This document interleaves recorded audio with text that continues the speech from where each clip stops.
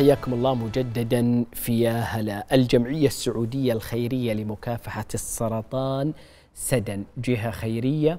إنسانية تقدم اليوم جهودا أقل ما توصف به العظيمة في واحد من الجوانب الصحية الإنسانية النفسية المهمة جدا التي تخدم شريحة هي في أمس الحاجة إلى وجود ما تقدمه الجمعية اليوم من رعاية من عناية من اهتمام من تثقيف من توعية من مسارات مختلفة جدا على امتداد حضورها وعمرها الزمني ومؤخرا دشنت هويتها آه، مع الأمير فيصل بن بندر بن عبد العزيز أمير منطقة الرياض. تفاصيل كثيرة عن هذه الجمعية نود أن نعرفها مع ضيفي الكريم الأستاذ سعود بن محمد بن هاجد رئيس مجلس إدارة الجمعية السعودية الخيرية لمكافحة السرطان.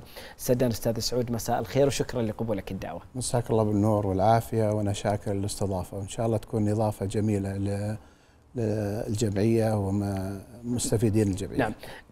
سدن من 2004 إلى اليوم وهي تحقق حضورها في المشهد وباقية وموجودة. اليوم وين تشوفها؟ إلى وين وصلت سدن هل حققت ما تريدونه من أهداف ولا ما زال؟ آه الحمد لله الجمعية السعودية الخيرية لمكافحة السرطان سدن آه مثل ما تفضلت انطلقت عام 2004 طبعا إنها تحقق كل طموحاتنا إحنا طموحاتنا بعيدة جدا يعني. وهمنا الأول والأخير هو خدمة مريض السرطان. آه، وجميع وتقديم جميع ما يلزمه من آه، خدمات ومن رعاية نفسية ورعاية مالية فأنا بختصر لك الخدمات اللي يقدمها الجمعية. طبعا إحنا نستهدف المرضى القادمين لمدينة الرياض في مراكز الأورام في المستشفيات الرئيسية الخمسة. وعندنا في كل آه، مستشفى مكتب لاستقبال المرضى وأخذ مستنداتهم الأولية وفتح ملفات لهم. ثم بعد آه، يتم آه، تقديم الخدمات لهم من تذاكر إركاب من مدنهم إلى مدينة الرياض.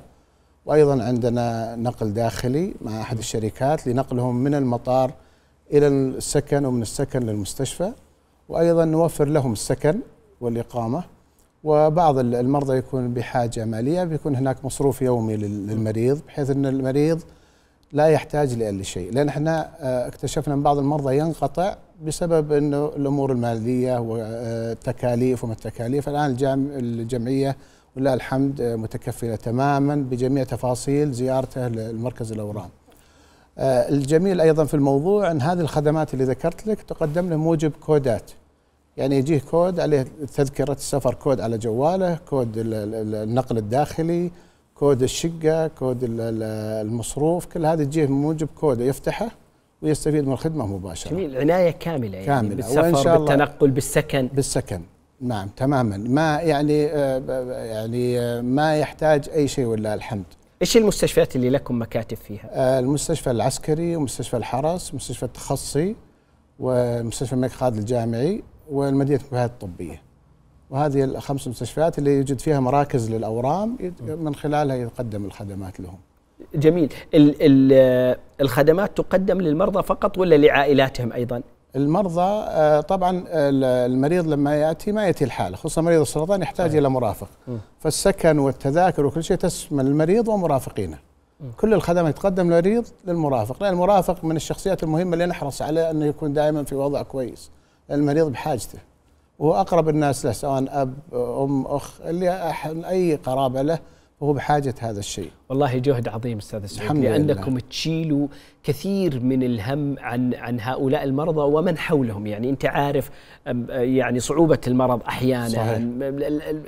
المشكلات النفسية اللي تنشأ عن هذا المرض وشيلة الهم فلما يجد من يقدم ويمد هذه اليد الإنسانية الجميلة الموضوع يأخذ أبعاد أجمل طبعا إحنا. نقدم من خلال الدعم النفسي تعرف صدمة الخبر للمريض دائما فإحنا نتولى هذا الموضوع بأخصائيين اجتماعيين وأخصائيين نفسيين لجلوس مع المريض ومع ذوي المريض وتثقيفهم وتخفيف الصدمة عليهم.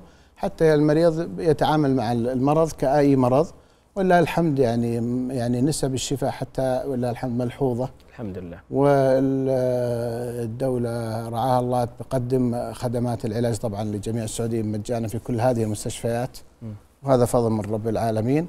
وأيضا هناك نقدم خدمات علاج مرضى لغير السعوديين آه، بالتعاون مع منصة شفاء. وهذه المنصة أنشأتها الدولة حفظها الله. من خلالها يتقدم لنا المريض ونعمل معلوماته والاوراق المحتاجة ثم نرفعها لمنصه الشفاء بتكلفه العلاج ال ال والأجمل أستاذ سعودي إذا توافقني أيضا هو هذا التكامل بينكم وبين هذه الجهات صحيح. الرسمية بين هذه المؤسسات. نعم. مكاتبكم موجودة. أنا متأكد إن بينكم كثير من الشراكة الدعم التوافق كثير التكامل. كثير الحمد لله. وآخر دعم وشراكة كان مع منصة إحسان. وكانوا لله الحمد يعني من أفضل الاتفاقيات والشراكات اللي تحقق منها نجاح كبير ولله الحمد. آه، ولا أنسى أن يتبع الجمعية سدن آه، مركز للكشف المبكر لسرطان الثدي. وهذا يتبع عربات آه، عبارة عن عيادات متكاملة تحتضر في المولات وفي جامعات البنات. وأيضا تنتقل إلى المحافظات التابعة لمنطقة الرياض. لتقديم هذا الكشف المبكر. تعرف شيء؟ قبل الحلقة وأنا أقرأ عن الجمعية وأحضر توقعت أني لميت بما يكفي من المعلومات لكن والله العظيم اللي جالس أسمعه منك الآن. شيء مبهج ويسر الخاطر. يعني إحنا فخورين ومعتزين في هذا اليوم أنه نقدم هذا المحتوى ونقول للناس بهذه الخدمات اللي جالسة تقدم اليوم. إلى وين رايحين؟ إيش خطواتكم القادمة؟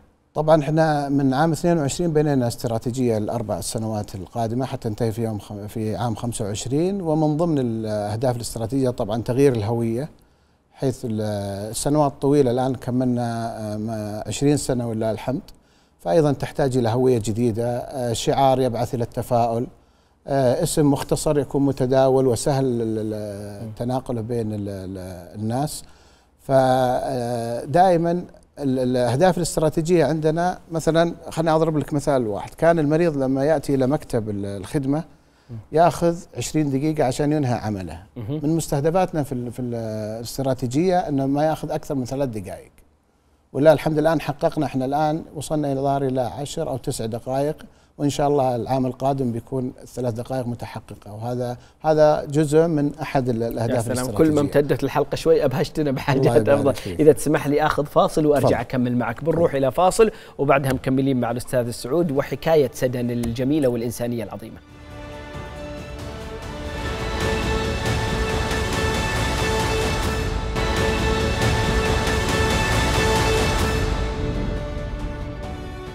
حياكم الله في الجزء الأخير من يا هلا ضيفي الأستاذ سعود بن محمد بن هاجد رئيس مجلس إدارة الجمعية السعودية الخيرية لمكافحة السرطان سدن وأنا إذا سمح لي الأستاذ سعود أدعو كل من يشاهد ويستمع إلى هذه الحلقة إلى أمرين. الأمر الأول أنه يزور حساباتهم في مواقع التواصل الاجتماعي ويطلع حقيقة على مجموعة الخدمات الجميلة اللي تقدم. والثانية أنه يسهم في دعم الجمعية على الرقم 50 70 وصحيح الأستاذ سعود 50 70 نعم. برسالة فارغة إلى هذا الرقم.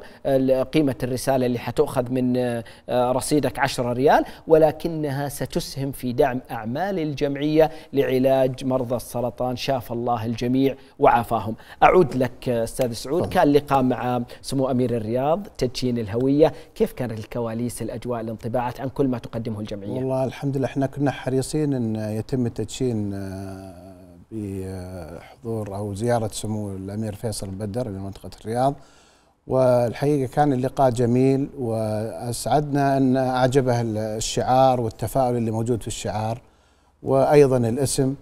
ف والملاحظات اللي أخذناها من سموه تجاه الجمعية وشرحنا له جميع الأهداف والخدمات اللي تقدمها الجمعية والحمد لله كنا مبسوطين. وهو أيضا يعني أسعدنا بأنه كان مبسوط وسعيد لما سمعه وبما شافه من نعم. إنجاز الجمعية.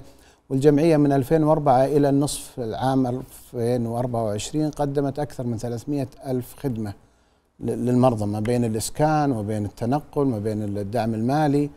وهذا لله الحمد نفخر به. إحنا طبعا أعضاء مجلس إدارة ولكن ورانا أيضا إدارة تنفيذية جنود مجهولين يعملون ليل نهار. إحنا مشرعين وندعمهم ونذلل عقبات لكنهم الحقيقة هم العنصر البشري وهم شريان الجمعية.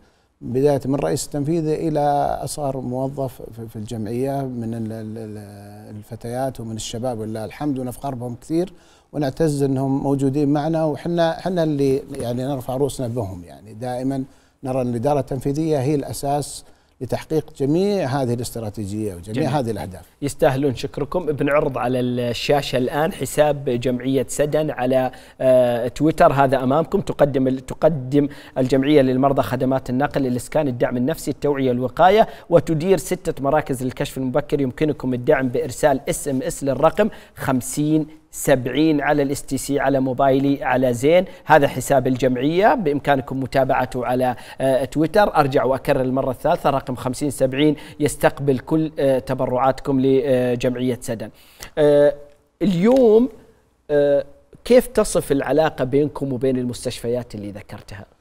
والله الحمد العلاقة أكثر من ممتازة. ونجد منهم الدعم وهم أيضا يستشعرون الدعم أو الخدمة اللي إحنا نقدمها للمرضى من خلال مكاتبنا لديهم. لأن المستشفى إذا وجد أن المريض حريص وموجود في مواعيده وفي جلساته فطبعا هذا يسعد المستشفى لأنه يواصل علاجه ولا ينقطع.